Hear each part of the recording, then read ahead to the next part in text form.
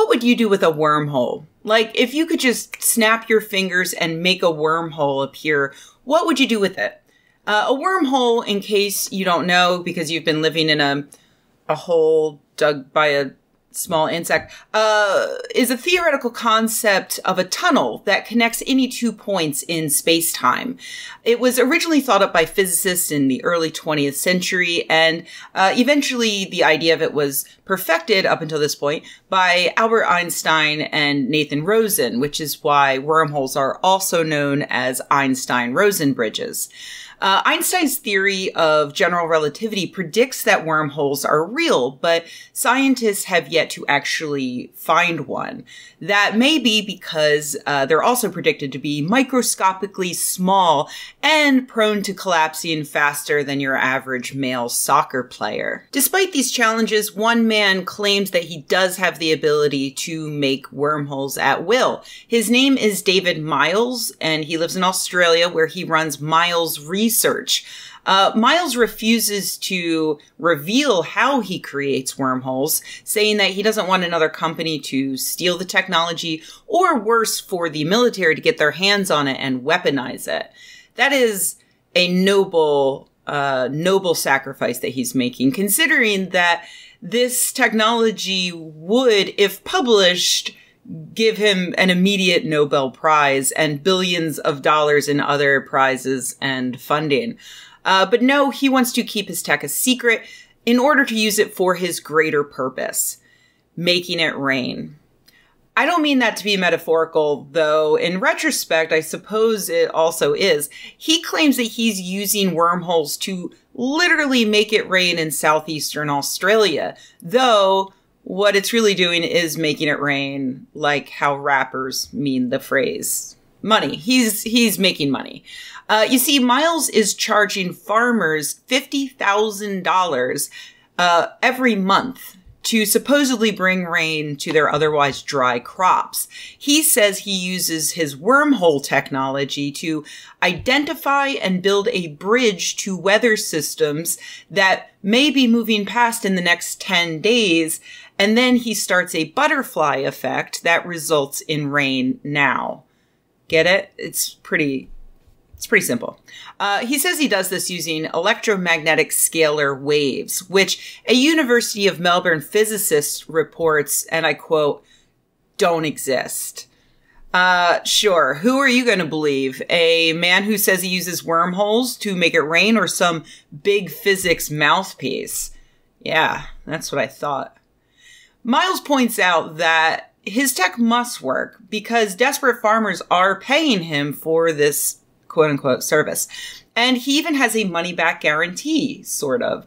Uh, if it rains 100 millimeters in a month, the farmers owe him $50,000. If they only get 50 millimeters, they only owe him $25,000 for that month. And if they get less than 50 millimeters, it's free. How fair. This reminds me of a much older scam uh, in which a psychic or someone with mysterious technology they refuse to describe uh, claims the ability to predict the sex of a baby from the moment of conception without any blood or pee test.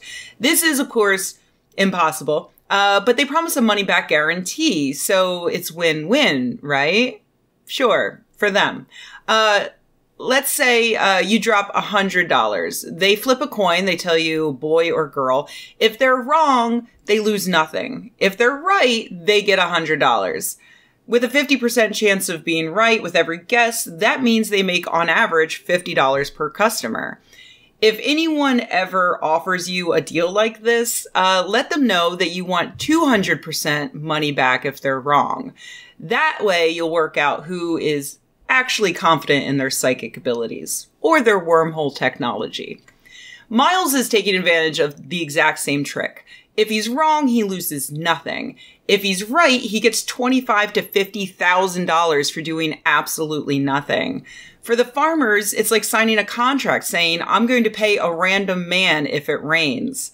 But the odds say that Miles will occasionally be right in that it actually will rain after he tells a farmer he's going to make it rain. For that farmer who may not be well versed in physics and electromagnetic scalar waves, he's proven that his system works. So if they keep paying, they're going to think they're getting a good deal. If next month doesn't work due to some mix up or system error, well, they didn't have to pay for it, so no worries, right?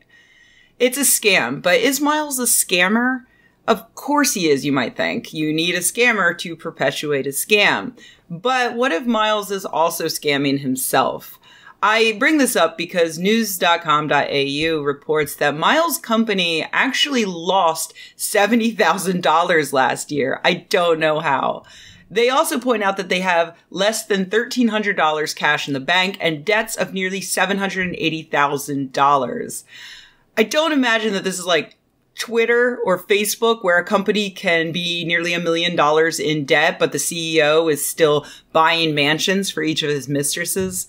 I think this is like sad person whose serious misunderstanding of physics has combined with an overly inflated ego to lead to his financial devastation.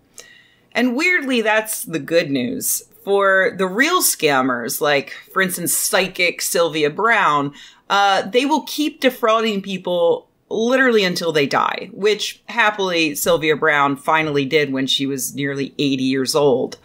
Scammers like Miles, though, might not be actual sociopaths, and so they're only going to keep defrauding people until they're broke or until they get decent meds or a decent education. That's not to say that I feel bad for him. After all, he's still taking tens of thousands of dollars from farmers who don't know any better.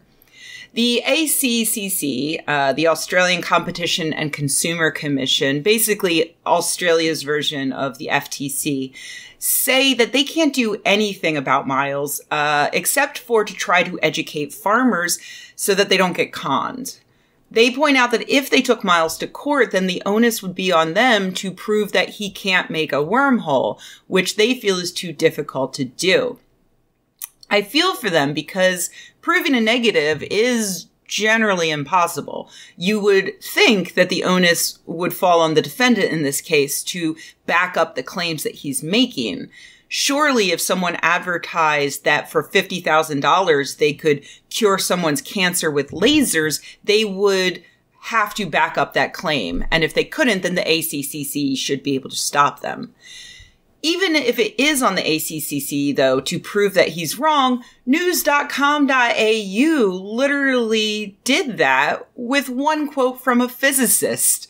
Electromagnetic scalar waves don't exist. There. Done. And it's not like this is a murder trial where the standard of evidence needs to be the highest it possibly can be. But even then, honestly, yes, you can prove beyond a reasonable doubt that this guy can't open a fucking wormhole in his apartment building. Put a couple physicists on stand, maybe a meteorologist or two. Honestly, they should do it, not just for the farmers, but for Miles, because at this rate, he's going to bankrupt himself within a year and he's going to take several family farms down with him. And the ACCC will have no one to blame but themselves. And maybe the state of Victoria's science education program.